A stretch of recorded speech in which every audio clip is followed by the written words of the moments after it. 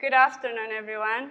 My name is Victoria Forest. I'm a member of VitaDAO, which is a community um, that's dedicated to funding um, and advancing longevity science that can improve people's life.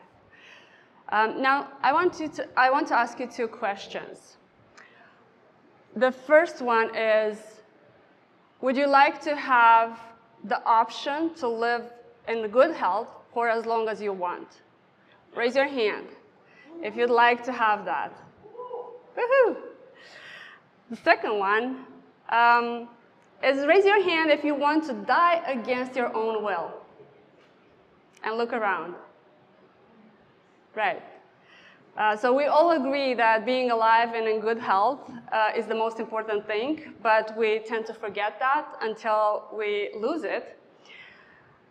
At VitaDAO, uh, this is what I'm, I'm, going to talk about um, and why we have to uh, fight aging to fight the degenerative disease that is going to kill us all eventually if we don't do something about it, why DeSci is needed, and a bit about VitaDAO's success in democratizing uh, funding of longevity research and advancing it towards more startups uh, for further investments. So every day, around 100,000 people die from age-related diseases. That's one second, one life we lose every day. That's like wiping out a small city every single day. And if that doesn't scream urgent, I don't know what does. And we might argue that this is part of life and aging is natural when my grandparents died, I realized that my parents and everyone, um, everyone else is going to die, including myself. So it was scary, um, so I put it out of my mind. And maybe it's a normal psychological response, a coping mechanism that we all experience the first time we hear about the idea of people getting old and dying cancer was natural, is natural, as, as at least we perceive it that, that way, right? Cholera was natural at some point, and we didn't accept that. Uh, so we found solutions for those problems. So that means we should work on curing aging as well, because this is a problem right now. So we used technology to find solutions for these problems that were threatening our life. And we have gone out and checked each one of the list, and this is what technology is about. Balaji Srinivasan, one of the um, visionary in the tech space, once said that the ultimate purpose of technology is to eliminate mortality. Um, so why wouldn't we use technology to solve frailty, pain, and suffering that comes with, with aging? People used to gather around their, their children's uh, deathbeds, just watching them being consumed by bacterial diseases.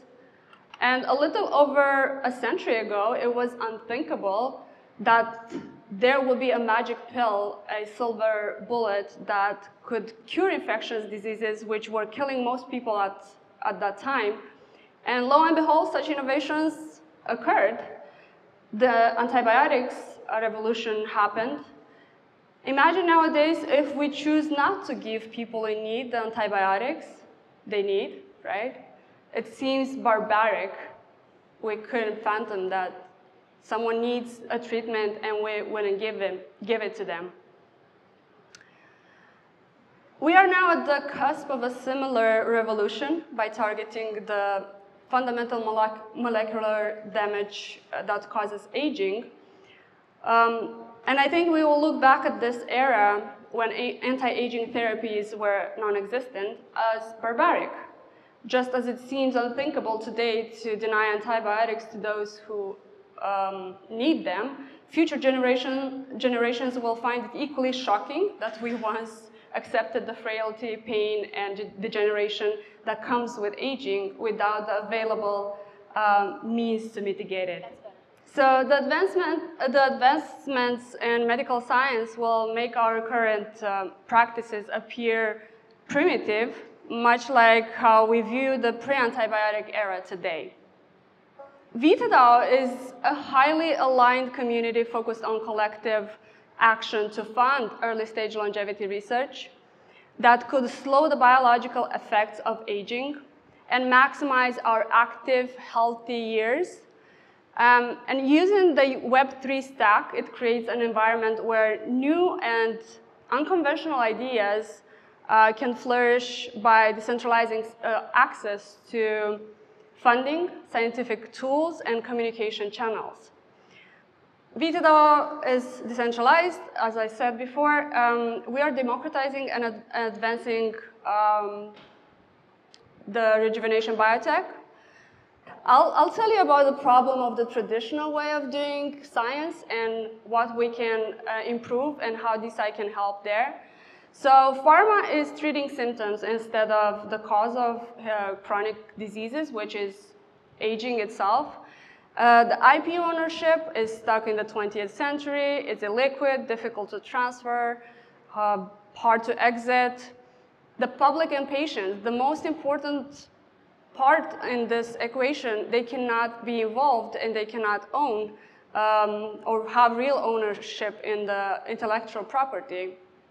So there's this translational gap that is called the Valley of Death, um, is that dreadful place where uh, the scientific uh, research, which is, might be promising, dries up for lack of funds. And with VitaDAO, we're not only funding more research, but we potentially saving lives faster than ever before by, bringing, by bridging this gap um, and bringing therapeutics uh, to the marketplace faster. So imagine if accelerating the funding process for early stage longevity research, this could unlock numerous uh, siloed projects that are not, uh, they, they cannot exit the lab benches because they don't have enough uh, funding. Um, so yeah, because the government grants are very slow, very bureaucratic, um, and are usually risk averse, um, scientists all usually spend like 80% of their time writing grants instead of um, doing actual science. And this is like being stuck in, in traffic, racing for time to save more lives. The solution um, is DeSci, as you guessed. So drugs that target aging are the future of medicine. Um, Balaji Srinivasan, this uh, visionary I was telling you earlier about, um, he said that longevity has the potential to be to traditional medicine what crypto is to traditional finance. And there's a huge overlap between uh, crypto people and longevity people. So this is where kind of the magic happens because of the collaboration and the tools we have available to use for that. Now, we, having these tools, we can fund and incubate the best aging research um, and enabling even frac fractionalization, which was not available just a few years ago. Um, we can leverage our community to develop the assets um, and de-risking them to further investment by VC it's an easy process to, to have the application submitted, and you can get an answer pretty quickly, like two or three weeks. Uh, we can scale and deploy exponentially faster than traditional startups and VCs because it's open and permissionless, everyone can join. Um, and there's a network effect, effects, which will bring you in the right arena to, to find funding, first of all. So how the DAO works is by funding longevity research projects. Um, then from there is an intellectual property that's generated and monetized, hopefully. And if the proceeds are coming back in a few years, they will come back to the treasury and fund further projects. VitaDAO so far funded 22 projects, and we're just three years old. Like Next week we'll be three years old, which is phenomenal for me. It's incredible to see how many things we've been able to do. Uh, we've raised a community of 10,000 people, 2,000 token holders, or more than that. Um, and we've deployed 2.2 million. Um, so the initial, um, the launching was uh, a fair batch auction, uh, which ended up raising 5.1 million. And the second one happened in January 2023, up, um, and that was like 4.1 million. So the strategic members you can see here, uh, Pfizer Ventures, uh, which is a big pharma company, right? It's kind of like this. so now they saw that like pharma gets involved in a DAO, which is you haven't seen that before. Um, so they saw that communities organizing around a common goal, they can fund and steer research, so they want to hop on this uh, trend. I, I don't want to call it a trend though, because it's I hope it's I hope it's here to stay and to make big changes. Um, yeah, so we have a lot of projects we funded. You can find them all on the websites. This is just a quick overview. Uh, last week, um, we tokenized the second IP NFT uh, for Artan Bio, which is a gene therapy project, and we raised over 300K. Um, besides the main focus of funding research, we also have an, some nonprofit initiatives, which is the Longevity Prize, funding novel ideas. Uh, the first prize was 220K, um, then Longevity Quadratic uh, donation with Gitcoin and the VitaDAO Fellowship, which anyone can apply to.